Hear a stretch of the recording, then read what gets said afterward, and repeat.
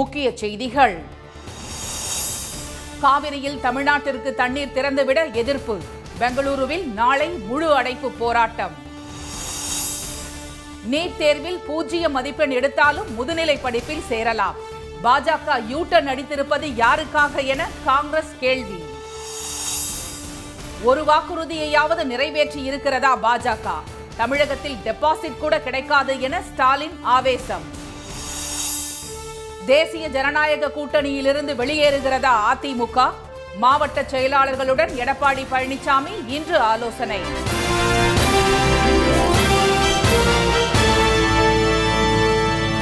வணக்கம். வணக்கம். காவிரியில் தமிழகத்திற்கு தண்ணீர் திறந்து விடப்படுவதை கண்டித்து பெங்களூருவில் நாளை முழு அடைப்பு போராட்டத்திற்கு அழைப்பு விடுக்கப்பட்டுள்ளது. மழையின்மையை காரணம் காட்டி கர்நாடகா இந்த ஆண்டு காவிரியில் போதிய அளவு தண்ணீர் திறந்துவிடவில்லை இதனால் குறுவை பயிர்கள் கருகத் தொடங்கியதால் இந்த விவகாரத்தில் தலையிட்டு தமிழகத்திற்கு தண்ணீர் திறக்குமாறு கர்நாடகத்திற்கு உத்தரவிடுமாறு மத்திய அரசை தமிழக அரசு கேட்டுக்கொண்டது. ஆனால் மத்திய அரசு எந்த நடவடிக்கையும் எடுக்காத நிலையில் தமிழ்நாடு அரசு உச்சநீதிமன்றத்தை நாடியது. தமிழக அரசின் மனுவை விசாரணைக்கு ஏற்ற நீதிபதிகள் காவிரி ஆணையம் மற்றும் ஒழுங்காற்று குழுவிடம் அறிக்கை கோரியது. இதன் அடிப்படையில் பதினைந்து நாட்களுக்கு வினாடிக்கு ஐந்தாயிரம் கன அடி தண்ணீர் திறக்குமாறு கர்நாடகத்திற்கு உத்தரவிட்ட அவர்கள் ஆணையத்தின் உத்தரவுக்கு தலையிட மறுத்துவிட்டனர். இதன் காரணமாக தமிழகத்திற்கு தண்ணீர் திறந்து விட வேண்டிய கட்டாயத்திற்கு கர்நாடகம் தள்ளப்பட்டுள்ளது. இந்நிலையில் தமிழகத்திற்கு தண்ணீர் திறந்துவிடப்படுவதற்கு எதிராக மாண்டியா மைசூர் உள்ளிட்ட பகுதிகளில் விவசாயிகள் போராட்டத்தில் ஈடுபட்டுள்ளனர். இதனிடையே தமிழகத்திற்கு தண்ணீர் திறந்துவிடப்படுவதால் பெங்களூரு குடிநீர் விநியோகம் தடைப்படும் என குற்றம் சாட்டி கன்னட அமைப்புகள் நாளை முழு அடைப்பு போராட்டத்திற்கு அழைப்பு விடுத்துள்ளன.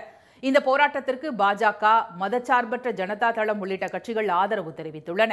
இந்நிலையில் காவிரி விவகாரம் தொடர்பாக அனைத்து கட்சி கூட்டத்தில் அரசு விளக்கம் அளித்ததிலும் அதனை புரிந்து கொள்ளாமல் முழு அடைப்புக்கு அழைப்பு விடுக்கப்பட்டிருப்பதாக கர்நாடக அரசு தெரிவித்துள்ளது. முழு அடைப்பால் எதையும் சாதிக்க முடியாது என்று தெரிவித்துள்ள உள்துறை அமைச்சர் திரு. பரமேஸ்வர் அதனை கைவிடுமாறு வலியுறுத்தியுள்ளார். முழு அடைப்பின் போது அசம்பாவித சம்பவங்களுக்கு இடம் தரக்கூடாது என தெரிவித்த அவர் பொதுமக்களின் இயல்பு வாழ்க்கை பாதிக்கப்பட்டால் கடும் நடவடிக்கை எடுக்கப்படும் என்றும் எச்சரித்தார். பெங்களூருவில் கூடுதல் போலீசார் பாதுகாப்பு பணியில் ஈடுபடுத்தப்படுவார்கள் என்று தெரிவித்த அமைச்சர் மாநிலத்தின் நலனை காக்க எதிர்க்கட்சிகள் ஒத்துழைக்க வேண்டும் என்று கேட்டுக்கொண்டார். அமைச்சரின் வேண்டுகோளை கன்னட அமைப்புகள் நிராகரித்துள்ளதை அடுத்து பெங்களூரு மாண்டியா மற்றும் மைசூர் நகரங்களில் தமிழர்கள் வாழும் பகுதிகளில் போலீஸ் பாதுகாப்பு பலப்படுத்தப்பட்டுள்ளது. தமிழர்களின் வர்த்தக நிறுவனங்கள் முன் போலீசார் குவிக்கப்பட்டுள்ளனர். நீட் தேர்வில் பூஜ்ஜியம் மதிப்பெண் எடுத்தாலும் மருத்துவ முதுநிலை படிப்பில் சேரலாம் என்ற அறிவிப்பு பாஜகவில் செல்வாக்கு படைத்தவர்களின் குழந்தைகளுக்காக கொண்டுவரப்பட்டதா என காங்கிரஸ் கேள்வி எழுப்பியுள்ளது. முதுநிலை மருத்துவ படிப்புக்கான நீட் தேர்வு கட் ஆஃப் மதிப்பெண் பூஜ்ஜியமாக இருந்தாலும் படிப்பில் சேர முடியும் என்று அண்மையில் மத்திய அரசு அறிவித்தது. இதற்கு கடும் எதிர்ப்பு தெரிவித்துள்ள காங்கிரஸ் மூத்த தலைவர் திரு. ஜெயராம் முதுநிலை மருத்துவ கல்வியில் தரத்தை பராமரிக்க வேண்டுமெனில் நீட் கட் ஆஃப் மதிப்பெண்களை குறைக்கக்கூடாது என்று இதே மத்திய அரசுதான் டெல்லி உயர்நீதிமன்றத்தில் கடந்த ஆண்டு வாதிட்டது என எக்ஸ் வலைதளத்தில் சுட்டிக்காட்டியுள்ளார். அதற்கான ஆங்கில செய்தி பிரசுரத்தையும் இணைத்துள்ள அவர் தகுதி தகுதி என்று கூறி இந்த அரசுக்கு ஆதரவாக தம்பட்டம் அடித்தவர்கள் எங்கே என்று கேள்வி எழுப்பியுள்ளார். முதுநிலை மருத்துவ படிப்புக்கான குறைந்தபட்ச தகுதியை கூட நீக்கியிருப்பது யாருக்கு நன்மை பயப்பதாக அமையும் என்றும் திரு. ஜெயராம் ரமேஷ் வினவியுள்ளார். பூஜ்ஜியம் மதிப்பெண் அறிவிப்பு அதிக தொகையை வாங்கிக் கொண்டு மருத்துவ இடங்களை நிரப்ப காத்திருக்கும் தனியார் கல்லூரிகளுக்கு மட்டுமே உதவும் என்றும் அவர் சாடியுள்ளார். பாஜகவின் செல்வாக்குமிக்க தலைவர்களின் தகுதி பெறாத குழந்தைகள் பயனடைய மத்திய அரசு யூ டர்ன் அடித்துள்ளதா என்றும் திரு. ஜெயராம் ரமேஷ் அடுக்கடுக்காக கேள்வி எழுப்பியுள்ளார். கொடுத்த வாக்குறுதிகளில் ஏதாவது ஒன்றை பாஜக நிறைவேற்றி இருக்கிறதா என்று கேள்வி எழுப்பியுள்ள முதலமைச்சர் திரு. ஸ்டாலின் தமிழகத்தில் அக்கட்சிக்கு டெபாசிட் கூட கிடைக்காது என்று கூறினார். திருப்பூர் மாவட்டம் காங்கேயம் அருகே உள்ள தொட்டிப்பாளையத்தில் திமுக மேற்கு மண்டல வாக்குச்சாவடி பொறுப்பாளர்கள் பாசறை கூட்டத்தில் பேசிய அவர் கலைஞர் மகளிர் உரிமை திட்டம் விடியல் பயணம் புதுமை பெண் திட்டம் முதியோர் ஓய்வூதியம் நான் முதல்வன் திட்டம் என தமிழ்நாடு அரசின் திட்டங்களால் ஒவ்வொரு குடும்பத்திலும் பயனடையாத யாருமே இருக்க முடியாது என தெரிவித்தார். அவர்களின் குடும்பத்தில் ஒருவராக மாறி தேவைகளை அறிந்து அவற்றை நிறைவேற்றும் பொறுப்பு திமுக வாக்குச்சாவடி பொறுப்பாளர்களுக்கு உண்டு என்று கூறிய திரு ஸ்டாலின் வாக்குச்சாவடி பொறுப்பாளர்களை நம்பியே நாற்பதற்கு நாற்பது என தாம் கூறி வருவதாகவும் தெரிவித்தார். பத்தாண்டு ஆட்சியை நிறைவு செய்ய உள்ள மத்திய பாஜக அரசு கொடுத்த வாக்குறுதிகளில் ஏதாவது ஒன்றை நிறைவேற்றி உள்ளதா என்றும் அவர் ஆவேசமாக வினவினார். பத்தாண்டாக போது ஆட்சிக்கு வர்றதுக்கு முன்னாடி கொடுத்த வாக்குறுதிகளை ஏதாவது நிறைவேற்றப்பட்டிருக்கா? எந்த வாக்குறுதி நிறைவேற்றலை. சொன்னதுக்கு நேர்மாறா ரிவர்ஸ் கியர்ல போயிட்டு இருக்கு வெளிநாட்டுல பதுக்கி வச்சிருக்கக்கூடிய கருப்பு பணத்தை முழுமையாக மீட்பேன்னு ஒருத்தர் சொன்னாரு. மீட்டாரா? கருப்பு பணத்தை மீட்டாரா? இல்ல. அப்படி மீட்கப்பட்ட கருப்பு பணத்தை இந்திய மக்கள் எல்லோருக்கும் ஆளுக்கு பதினஞ்சு லட்சம் ரூபாய் பிரிச்சு தருவேன். ஆசை காமிச்சார? வந்துச்சா? குறைந்தபட்ச இருப்பு தொகை இல்லை என கூறி கலைஞர் மகளிர் உரிமைத் தொகையையும் பாஜக அரசு கொள்ளையடிப்பதாக திரு ஸ்டாலின் சாடினார். வாக்குறுதிகளை நிறைவேற்றாததாலும் செய்யாத எந்த சாதனையையும் கூறி வாக்கு கேட்க முடியாது என்பதாலுமே மகளிர் இடஒதுக்கீடு மசோதாவை பாஜக அரசு கொண்டு வந்ததாக முதலமைச்சர் கூறினார். ஆனால் அந்த இடஒதுக்கீடும் இரண்டாயிரத்து இருபத்தி ஒன்பதுக்கு பிறகே அமலுக்கு வரும் வகையில் மசோதா உள்ளதாக குறிப்பிட்டார். பாஜகவின் பாசிச திட்டங்களை ஆதரித்த அதிமுக தற்போது பாஜகவை எதிர்ப்பது போல் நாடகமாடுவதாக கூறிய திரு ஸ்டாலின் வரும் தேர்தலிலும் அவர்களுக்கு படுதோல்வியை வழங்க வேண்டுமென மக்களை கேட்டுக்கொண்டார். நம்ம கழக ஆட்சியில பெண்களுக்கு உரிமை தொகையா மாசம் மாசம் ஆயிரம் ரூபாய் நாம கொடுக்கிறோம். அதுவும் மினிமம் பேலன்ஸ் இல்லைன்னு சொல்லி பிடுங்கி கொள்ளையடிக்கக்கூடிய ஒரு கொள்ளைக்கார ஆட்சியா ஒன்றிய பாஜக ஆட்சி இருக்கு. தாய்மார்களோட இந்த கோவம்லாம் நிச்சயம் தேர்தல் எதிரொலிக்கத்தான் போகுது. அதிமுக ஆட்சியில் இருந்தபோது மத்திய பாஜக அரசின் மூலம் தமிழ்நாட்டிற்கு கிடைத்த நன்மைகள் என்ன என்றும் முதலமைச்சர் கேள்வி எழுப்பினார். தொடர்ந்து பேசிய திரு ஸ்டாலின் திமுகவின் தேர்தல் வெற்றிக்காக உழைக்கும் வாக்குச்சாவடி பொறுப்பாளர்களுக்கு தக்க பலன் கிடைக்கும் என்றும் கூறினார். அதிமுக மாவட்ட செயலாளர்கள் கூட்டம் இன்று நடைபெற உள்ள நிலையில் பாஜக கூட்டணி தொடர்பாக இன்று முடிவெடுக்கப்படும் என்று தகவல்கள் வெளியாகியுள்ளன. பசும்பொன் முத்துராமலிங்க தேவர் அண்ணா குறித்து தமிழக பாஜக தலைவர் திரு அண்ணாமலை கூறிய கருத்து அதிமுக தலைவர்களிடையே கொந்தளிப்பை ஏற்படுத்தியது. வரலாறு இல்லாதவர் சிண்டு முடியும் வேலை வேஸ்ட் பீஸ் நாக்கு அழுகிவிடும் என்று முன்னாள் அமைச்சர்கள் திரு ஜெயக்குமார் திரு உதயகுமார் செல்லூர் திரு ராஜு திரு சி வி சண்முகம் என வரிந்து கட்டிக்கொண்டு வார்த்தை யுத்தத்தில் ஈடுபட்டனர். இதில் உச்சத்திற்கே சென்ற திரு ஜெயக்குமார் அதிமுக கூட்டணியில் இப்போது பாஜக இல்லை என்று அறிவித்தார். இதை இரண்டு கட்சியினரும் பட்டாசு வெடித்தும் இனிப்பு வழங்கியும் போஸ்டர்கள் ஒட்டியும் கொண்டாடினர். வருமான வரித்துறை அமலாக்கத்துறை சோதனைகளை கண்டு அஞ்சிய கட்சி அதிமுக இல்லை என்றும் கெத்தாக அதிமுக தலைவர்கள் பேசினர். இதற்கு பதிலடி கொடுத்த திரு. அண்ணாமலை தாம் கூறிய கருத்தில் இருந்து பின்வாங்க போவதில்லை என்றும் கும்பிடு போட்டும் தவழ்ந்து சென்றும் பதவியை பெறவில்லை என்றும் காட்டமாக விமர்சனம் செய்தார். பாஜக கட்சி நடத்துவது திரு. பழனிசாமியை முதல்வராக்கவா என்றும் அவர் கேள்வி எழுப்பினார். இதனால் அதிர்ந்து போன அதிமுக தலைவர்கள் Thiru C V Shanmugam Thiru K P Munusamy Thiru Udhayakumar உள்ளிட்டோர் அடுத்த நாளே தனித்தனியாக டெல்லி சென்று உள்துறை அமைச்சர் திரு அமித்ஷாவை சந்திக்க முயன்றனர். ஆனால் அவர் சந்திக்க நேரம் ஒதுக்காத நிலையில் பாஜக தேசிய தலைவர் திரு நட்டாவை சந்தித்து முறையிட்டனர். திரு அண்ணாமலையை மாற்ற வேண்டும் என்ற அதிமுக தலைவர்களின் கோரிக்கையை நிராகரித்த அவர் சந்திப்பு குறித்து வெளியே சொல்ல வேண்டாம் என்றும் எச்சரித்து அனுப்பியுள்ளார். இந்த சூழ்நிலையில் அதிமுக மாவட்ட செயலாளர்கள் கூட்டம். சென்னை ராயப்பேட்டையில் உள்ள எம்ஜிஆர் மாளிகையில் பொதுச் செயலாளர் எடப்பாடி திரு பழனிசாமி தலைமையில் இன்று நடைபெற உள்ளது இதில் பாஜக உடனான கூட்டணி குறித்து முக்கிய முடிவு எடுக்கப்படலாம் என்று கூறப்படுகிறது. இல்லாவிட்டால் திரு அண்ணாமலையின் பேச்சை கண்டித்து கண்டன தீர்மானம் மட்டும் நிறைவேற்றி எளிமையாக கூட்டத்தை முடித்து விடுவார்கள் என்றும் பேசப்படுகிறது. தமிழகத்தில் விநாயகர் சிலைகள் நீர்நிலைகளில் கரைக்கப்பட்ட நிகழ்வு அமைதியாக நடைபெற்றது. பதினெட்டாம் தேதி விநாயகர் சதுர்த்தி கொண்டாடப்பட்டதை அடுத்து கோயில்கள் தெருக்கள் என பல இடங்களில் பிரம்மாண்டமான முறையில் பல வடிவங்களில் விநாயகர் சிலைகள் வைத்து மக்கள் வழிபாடு செய்தனர். சென்னை மற்றும் புறநகர் பகுதிகளில் வைத்த சிலைகள் பட்டினப்பாக்கம் காசிமேடு திருவொற்றியூர் நீலாங்கரை உள்ளிட்ட இடங்களில் கரைக்க போலீசார் அனுமதி அளித்திருந்தனர். அதன்படி நேற்று காலையிலிருந்து சென்னை மற்றும் புறநகர் பகுதிகளில் வாகனங்களில் ஊர்வலமாக விநாயகர் சிலைகள் எடுத்துச் செல்லப்பட்டன. மேளதாளங்கள் முழங்க முக்கிய வீதிகளில் வலம் சென்ற விநாயகரை இஸ்லாமியர்களும் பூஜை செய்து வழிபட்டனர்.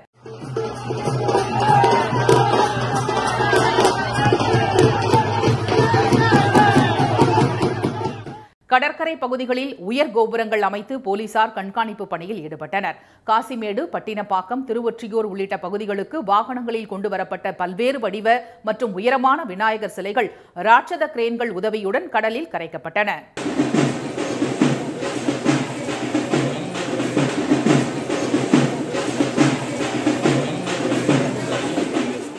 கன்னியாகுமரி மாவட்டத்தில் வாகனங்களில் ஊர்வலமாக எடுத்துச் செல்லப்பட்ட விநாயகர் சிலைகள் முன்பு தெய்வங்கள் போல் வேடம் அணிந்தவர்கள் ஆடி மகிழ்ந்தனர். பின்னர் குழித்துறை தாமிரபரணி ஆற்றில் சிலைகள் கரைக்கப்பட்டன. கொடைக்கானலில் முக்கிய வீதிகளில் ஊர்வலமாக எடுத்துச் செல்லப்பட்ட விநாயகர் சிலைகள் நீரோடையில் கரைக்கப்பட்டன. கூடலூர் மற்றும் பந்தலூர் பகுதியில் வைக்கப்பட்டிருந்த சிலைகள் பலத்த பாதுகாப்புடன் ஊர்வலமாக எடுத்துச் செல்லப்பட்டு பாண்டியாறு புன்னம்புழா ஆற்றில் கரைக்கப்பட்டன.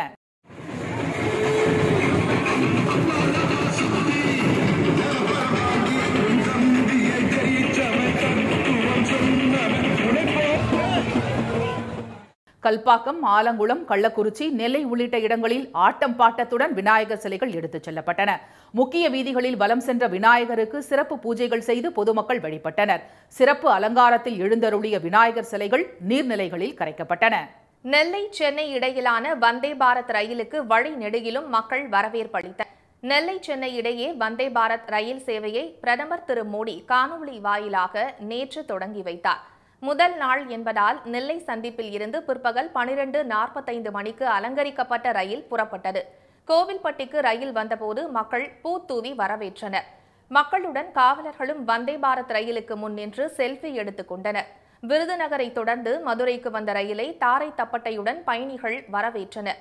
நெல்லையில் இருந்து ரயிலில் வந்திறங்கிய மத்திய அமைச்சர் திரு. எல். முருகன் தெலுங்கானா ஆளுநர் திருமதி தமிழிசைக்கு மதுரை ரயில் நிலையத்தில் வரவேற்பு அளிக்கப்பட்டது. அதைத் தொடர்ந்து அங்கு வைக்கப்பட்டிருந்த வந்தே பாரத் ரயில் மாதிரி கேக்கை திருமதி தமிழிசை வெட்டி அனைவருக்கும் வழங்கினார்.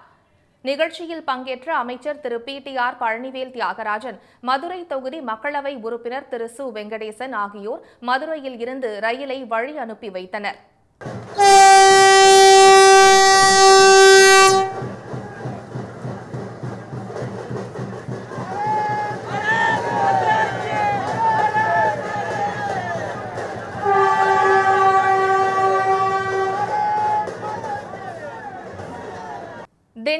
திருச்சி அரியலூர் விழுப்புரம் செங்கல்பட்டு தாம்பரம் உள்ளிட்ட பல்வேறு ரயில் நிலைய இடங்களிலும் வந்தே பாரத் ரயிலுக்கு உற்சாக வரவேற்பு அளிக்கப்பட்ட நிலையில் இரவு பத்து மணி அளவில் எழும்பூர் ரயில் நிலையம் வந்தடைந்த வந்தே பாரத் ரயிலுக்கு அங்கிருந்தவர்கள் வரவேற்பு அளித்தனர். இதனிடையே இன்று முதல் நெல்லையில் இருந்து காலை ஆறு மணிக்கு புறப்படும் வந்தே பாரத் ரயில் விருதுநகர் மதுரை திண்டுக்கல் திருச்சி விழுப்புரம் தாம்பரம் ஆகிய ரயில் நிலையங்களில் நின்று சென்னை எழும்பூருக்கு நண்பகல் ஒன்று ஐம்பது மணிக்கு வந்து சேரும். மறுமார்க்கத்தில் சென்னையில் இருந்து பிற்பகல் இரண்டு ஐம்பது மணிக்கு புறப்படும் ரயில் நெல்லைக்கு இரவு பத்து நாற்பது மணிக்கு சென்றடையும். திம்பம் மலைப்பாதையில் கனரக வாகனங்கள் செல்ல அனுமதி வழங்க வேண்டும் என்று லாரி உரிமையாளர்கள் மற்றும் ஓட்டுநர் நலச்சங்கத்தினர் கோரிக்கை விடுத்துள்ளனர். ஈரோடு மாவட்டம் சத்தியமங்கலத்தை அடுத்த திம்பம் மலைப்பாதையானது சத்தியமங்கலம் புலிகள் காப்பகம் வனப்பகுதியில் செல்லுகிறது. இருபத்தி ஏழு கொண்டை ஊசி வளைவுகளை கொண்ட அந்த பாதை தமிழ்நாடு கர்நாடக மாநிலங்களை இணைக்கிறது. இந்த வழியாக மைசூர் தேசிய நெடுஞ்சாலை செல்கிறது. கடந்த இரண்டு ஆண்டுகளுக்கு முன்பு திம்பம் மலைப்பாதையில் கனரக வாகனங்கள் செல்ல தடை விதிக்கப்பட்டு அதில் ஆறு சக்கர வாகனங்கள் கொண்ட லாரிகள் மட்டும் அனுமதிக்கப்பட்டது. இதற்கு எதிர்ப்பு தெரிவித்த லாரி உரிமையாளர்கள் மற்றும் ஓட்டுநர் நலச்சங்கத்தினர் நேற்று ஆலோசனை நடத்தினர். பின்னர் செய்தியாளர்களிடம் பேசிய அந்த சங்க நிர்வாகிகள் கனரக வாகனங்கள் செல்ல அனுமதி வழங்க வேண்டும் என்று வலியுறுத்தினர். பத்து வேல் பன்னெண்டு வேல் ஓடிட்டு இருந்த லாரியை கோர்ட் உச்சநீதிமன்ற தீர்ப்பின்படி பதினாறு புள்ளி இரநூறு தான் பாசிங் வெயிட் போடணும்னு சொல்லிட்டு உச்சநீதிமன்றம் சேர்த்து போட்டுருக்கு அதனால் இங்கே பத்து வேல் பன்னெண்டு வேல் வச்சுருக்க லாரிக்கார எல்லாருமே பாதிக்கிறாங்க. ஒரு டீ கடை வச்சுக்கிறீங்க சரி ஒரு பஞ்சர் கடை வச்சுக்கும் சரி ஒரு மெக்கானிக்கும் சரி இங்கே இருக்கிற ஒரு மல்லிகை கடை ஒரு ஹார்ட்வேர்ஸ் கடை எல்லாத்துக்குமே ஒரு பாதிப்புள்ளான ஒரு விஷயம். ஒரு ஆயிரக்கணக்கான வண்டி வந்துட்டு இந்த இடத்துல இப்போ வந்து ஒரு இருபது பர்சன்டேஜ் வண்டி தான் வருது. லாரி எடை ஏழு டன் சரக்குகள் ஒன்பது புள்ளி இரண்டு டன் என பதினாறு புள்ளி இரண்டு டன் மட்டுமே அனுமதிக்கப்படும் என வனத்துறை அறிவித்துள்ளது. அதிர்ச்சி அளிப்பதாக லாரி உரிமையாளர்கள் மற்றும் ஓட்டுநர் சங்கத்தினர் தெரிவித்தனர். லாரி தொழிலை நம்பியுள்ள ஆயிரக்கணக்கான ஓட்டுநர்கள் பணியாளர்கள் மற்றும் சத்தியமங்கலம் முதல் ஆசனூர் வரை சாலையோர உணவகங்கள் மற்றும் வணிகர்கள் பாதிக்கப்பட்டுள்ளதாக அவர்கள் கூறினர். வேதாரண்யம் அருகே நீர்வழி தடங்கள் செடி கொடிகளால் புதராக மாறியுள்ளதால் விவசாயிகள் கவலையடைந்துள்ளனர். நாகை மாவட்டம் வேதாரண்யம் பகுதியில் முள்ளியாறு மற்றும் மானங்கொண்டான் ஆறு இருபது கிலோமீட்டர் தூரம் வரை பாசன மற்றும் வடிகால் ஆறாக ஓடுகிறது. இந்த ஆறுகளில் வாய்மேடு மருதூர் ஆயக்காரன்புலம் தானிக்கோட்டகம் கருப்பம்புலம் பகுதிகளில் பத்து கிலோமீட்டர் தூரம் அதிக அளவில் ஆகாய தாமரை செடிகள் மண்டி கிடக்கிறது. வடகிழக்கு பருவமழை துவங்க உள்ளதால் வயல்களில் தேங்கும் மழை நீர் இந்த ஆறுகளின் வழியாக தான் தண்ணீர் வடிந்து கடலுக்கு செல்ல வேண்டியுள்ளதாகவும் இதனால் நீர்வழி தடங்களில் புதர்களாக மண்டியுள்ள செடிகளை அகற்ற வேண்டும் என்று அப்பகுதி விவசாயிகள் கோரிக்கை விடுத்துள்ளனர். புதர் மண்டிய நீர்நிலைகள் குறித்து மாவட்ட நிர்வாகத்திடம் பலமுறை புகார் அளிக்கப்பட்டுள்ளதாக விவசாயிகள் கூறினர். இந்த விவகாரத்தில் மாவட்ட நிர்வாகம் தலையிட்டு ஆறுகளில் உள்ள ஆகாய தாமரைகளை அகற்ற நடவடிக்கை எடுக்க வேண்டும் என்று அவர்கள் வலியுறுத்தியுள்ளனர். ஈரோடு மாவட்டம் பவானி அருகே தாத்தா பாட்டிகள் தின விழா உற்சாகத்துடன் கொண்டாடப்பட்டது. சேவா கவுண்டனூரில் உள்ள தனியார் பள்ளி சார்பில் ஏற்பாடு செய்யப்பட்டிருந்த நிகழ்வில் பேர குழந்தைகளுடன் தாத்தாக்களும் பாட்டிகளும் கலந்து கொண்டனர். தாத்தாக்கள் மற்றும் பாட்டிகளுக்கு நடனம் ஜோடி பொருத்தம் உள்ளிட்ட பல்வேறு விளையாட்டுப் போட்டிகள் நடத்தப்பட்டன. தொடர்ந்து தாத்தாக்கள் மற்றும் பாட்டிகளுடன் தனித்தனியாக பேர குழந்தைகள் மேடை ஏறி நடனமாடினர். ஜெயிலர் படத்தின் காவாலா பாடலுக்கு பாட்டிகள் தங்கள் வயதையும் மறந்து ஆனந்தமாக நடனமாடியதை அனைவரும் உற்சாகத்துடன் கண்டு ரசித்தனர். போட்டிகளில் வெற்றி பெற்றவர்களுக்கு பரிசுகள் வழங்கப்பட்டன. பொருளாதார நெருக்கடி மற்றும் நகரச் சூழல் காரணமாக சொந்த ஊர்களில் தனித்து விடப்பட்ட தாத்தா பாட்டிகளுடன் பேர குழந்தைகளுக்கான உறவை புதுப்பிக்கவே இந்த விழாவை நடத்தியதாக ஏற்பாட்டாளர்கள் தெரிவித்தனர். திருவண்ணாமலை மாவட்டம் ஆரணி அருகே ஒரே பள்ளியைச் சேர்ந்த முன்னாள் மாணவர்கள் இருபத்து மூன்று ஆண்டுகளுக்கு பிறகு ஒன்று கூடி நினைவுகளை பகிர்ந்தது. அங்கிருந்தவர்களை நெகிழ்ச்சியில் ஆழ்த்தியது. ஒன்றுபுறம் அரசு மேல்நிலைப் பள்ளியில் இரண்டாயிரத்து ஒன்றாம் ஆண்டு பத்தாம் வகுப்பு மற்றும் இரண்டாயிரத்து மூன்றில் பனிரெண்டாம் வகுப்பு படித்த மாணவர்கள் வாட்ஸ்அப் குழு மூலம் ஒன்றிணைந்து நிகழ்ச்சியில் பங்கேற்றனர்.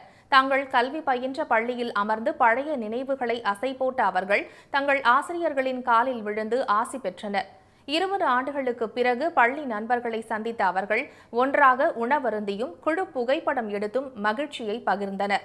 மேலும் தங்களின் பள்ளிக்கு ஐம்பதாயிரம் ரூபாய் மதிப்பீட்டில் மேசை ஒலிபெருக்கி உள்ளிட்ட உபகரணங்களையும் வழங்கினர். சென்னை வண்ணாரப்பேட்டையில் உள்ள கே. சி. சங்கரலிங்க நாடார் உயர்நிலைப் பள்ளியில் ஆயிரத்து தொள்ளாயிரத்து எழுபத்தி ஏழாம் ஆண்டு பத்தாம் வகுப்பு படித்த மாணவர்கள் நாற்பத்தாறு ஆண்டுகளுக்கு பிறகு ஒன்று கூடினர். ராயபுரம் அவ்வை காப்பகத்தில் நடைபெற்ற நிகழ்ச்சியில் தங்கள் நண்பர்களுடன் அமர்ந்து பேசி நினைவுகளை பகிர்ந்த முதியவர்கள் ஆசிரியர்களுக்கு நினைவு பரிசை வழங்கி கௌரவித்தனர். இதேபோல் பொன்னேரியை அடுத்த பழவேற்காடு அரசு மேல்நிலைப் பள்ளியிலும் முப்பது ஆண்டுகளுக்கு முன்பு கல்வி பயின்ற முன்னாள் மாணவர்களின் சந்திப்பு நடைபெற்றது. தங்களின் சிறு வயது நண்பர்களை கண்டதும் உற்சாகத்தில் துள்ளி குதித்த அவர்கள் குழு புகைப்படம் எடுத்து அன்பை பரிமாறிக்கொண்டனர் நீண்ட நாட்களுக்கு பிறகு நண்பர்களை சந்தித்தது மீண்டும் பள்ளி காலத்திற்கு சென்றது போன்ற உணர்வை தந்ததாக முன்னாள் மாணவர்கள் நெகிழ்ச்சியுடன் கூறினர். உதகையில் மலர் கண்காட்சிக்கான ஏற்பாடுகள் தீவிரமாக நடைபெற்று வருகின்றன. மலைகளின் அரசியான உதகையில் செப்டம்பர் முதல் நவம்பர் வரை இரண்டாவது சீசன் காலமாகும். இந்த நாட்களில் அங்கு நிலவும் குளுமையான சீதோஷ்ண சூழலை அனுபவிப்பதற்காக ஏராளமான சுற்றுலா பயணிகள் வருகை தருவார்கள். அவர்களின் கவனத்தை ஈர்ப்பதற்காக தாவரவியல் பூங்காவில் மலர் கண்காட்சிக்கான ஏற்பாடு முழுவீச்சில் நடைபெற்று வருகிறது. அங்கு அறுபது வகையான மலர்கள் பூத்து குலுங்கி கண்களுக்கு விருந்து படைக்கின்றன. விதவிதமான வண்ணங்களில் காட்சியளிக்கும் பதினைந்தாயிரம் மலர் தொட்டிகளை அலங்கார மேடைகளில் அடுக்கும் பணியில் பூங்கா ஊழியர்கள் ஈடுபட்டு வருகின்றனர். செப்டம்பர் அக்டோபர் நவம்பர் இந்த மூணு மாதம் வந்து செகண்ட் சீசனு இப்போ செகண்ட் சீசன்லேயும் அதே மாதிரி ஒரு மலர் கண்காட்சியை வந்து ஏற்பாடு பண்ணிகிட்ருக்குறாங்க நிறைய பூத்தொட்டியெல்லாம் அடுக்கி இப்போ ரெடி ஆகிட்டுருக்குங்க இன்னும் ஒரு ரெண்டு மூணு நாளில் வந்துட்டு அது வந்து பொதுமக்கள் சுற்றுலா பயணிகள் பார்வைக்காக வருவோம். சுற்றுலா பயணிகளை கவரும் விதமாக சந்திரயான் மூன்று விண்கலம் வடிவத்தில் பத்தாயிரம் பூந்தொட்டிகளை கொண்டு அலங்கரிக்கும் பணியும் நடைபெற்று வருகிறது. நடப்பாண்டில் கோடை சீசனை தொடர்ந்து இரண்டாவது முறையாக நடைபெற இருக்கும் மலர் கண்காட்சிக்கு மிகுந்த வரவேற்பு இருக்கும் என பூங்கா அதிகாரிகள் தெரிவித்துள்ளனர். இனி வருவது செய்தி துளிகள். காவிரி நீர் திறக்க எதிர்ப்பு தெரிவித்து கர்நாடகாவில் நாளை நடைபெறவுள்ள முழு அடைப்பை சட்டவிரோதம் என அறிவித்து தடை செய்ய மத்திய அரசை முதலமைச்சர் திரு ஸ்டாலின் வலியுறுத்த வேண்டும் என தமிழ்நாடு காவிரி விவசாயிகள் சங்கம் கோரியுள்ளது. சென்னையில் செய்தியாளர்களிடம் பேசிய அதன் பொதுச் செயலாளர் திரு பி ஆர் பாண்டியன் உச்சநீதிமன்ற தீர்ப்பை அவமதிக்கும் வகையில் கர்நாடகாவில் போராட்டங்கள் நடைபெற்று வருவதாக குறிப்பிட்டார். சிறு குறு மற்றும் நடுத்தர தொழில் நிறுவனங்களின் மின் கட்டண குறைப்பு உள்ளிட்ட கோரிக்கைகளை முடிந்த அளவுக்கு நிறைவேற்ற வேண்டும் என தமிழக அரசுக்கு பாமக தலைவர் திரு அன்புமணி வேண்டுகோள் விடுத்துள்ளார். சனாதனம் குறித்து அமைச்சர் திரு உதயநிதி பேசியதை திரித்து வீண் பழி போட்டு பாஜக அரசியல் ஆதாயம் தேடுவதாக தந்தை பெரியார் திராவிட கழக பொதுச் செயலாளர் திரு ராமகிருஷ்ணன் குற்றம் சாட்டியுள்ளார். புதுச்சேரியில் செய்தியாளர்களிடம் பேசிய அவர் பெண்களை அடிமையாக வைத்திருப்பதுதான் சனாதனம் என்றும் அதைத்தான் தாங்கள் எதிர்ப்பதாகவும் கூறினார். காவிரி நீர் விவகாரத்தில் மத்திய அரசு நாடகம் ஆடுவதாக தமிழக வாழ்வுரிமை கட்சி தலைவர் திரு வேல்முருகன் குற்றம் சாட்டியுள்ளார். சேலத்தில் செய்தியாளர்களிடம் பேசிய அவர் கர்நாடகத்திற்கு துணை ராணுவத்தை அனுப்பி தமிழ்நாட்டுக்கான தண்ணீரை பெற்றுத்தர வேண்டும் என்று வலியுறுத்தினார். கொடைக்கானலில் இரண்டாவது சீசன் களை கட்ட தொடங்கியுள்ள நிலையில் காட்டுச்செர்ரி மலர்கள் பூத்து குலுங்கி மலைகளின் இளவரசியை மெருகூட்டியுள்ளன. இயற்கை எழிலுடனும் கொள்ளை அழகுடனும் காட்சியளிக்கும் கொடைக்கானல் சுற்றுலா பயணிகளின் கண்களுக்கு புது விருந்து படைத்து வருகிறது. நாட்டு இன குதிரைகளை பாதுகாக்க பற்றி நாமக்கல் மாவட்டம் குமாரபாளையத்தில் நடத்தப்பட்ட ரேகலா பந்தயத்தை ஏராளமானோர் கண்டு ரசித்தனர். இந்த பந்தயத்தில் நூற்றுக்கும் மேற்பட்ட குதிரைகள் சீறி பாய்ந்தன.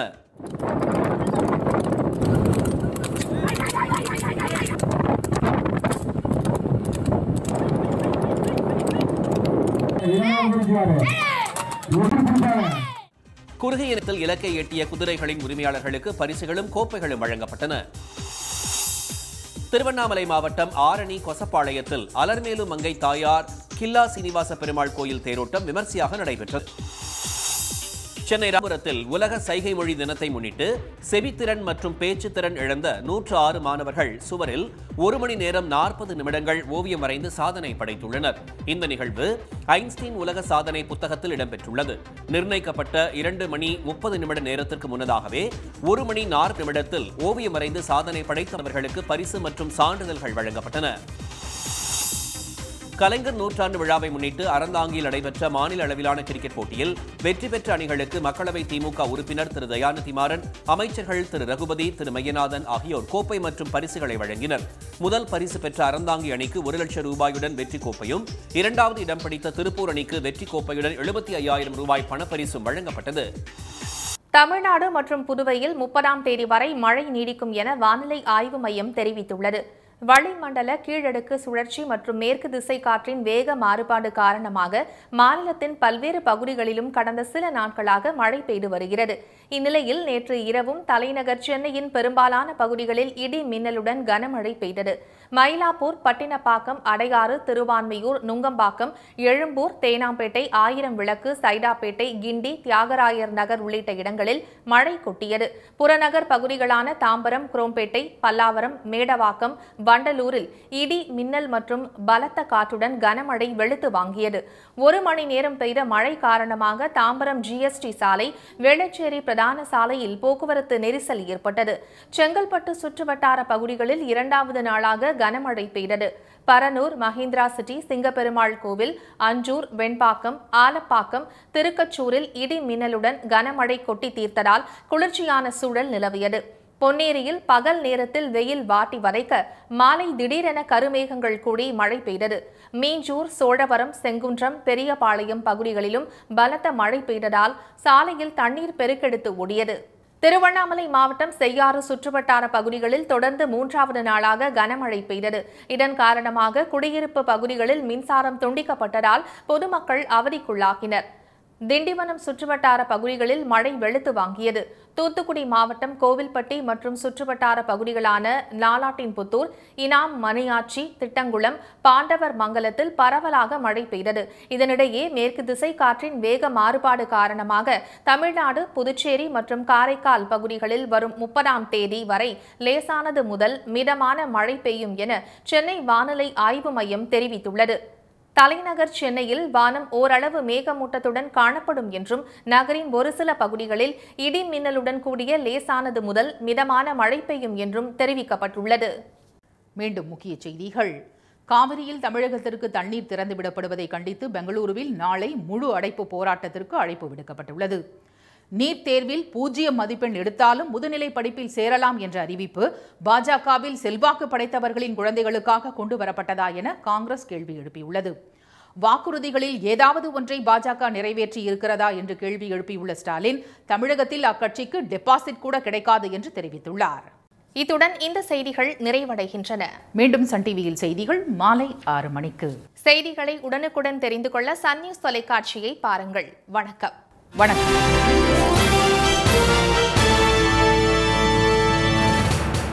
உடனுக்குடன் செய்திகளை தெரிந்து கொள்ள சன் நியூஸ் பெல் ஐக்கான கிளிக் பண்ணுங்க.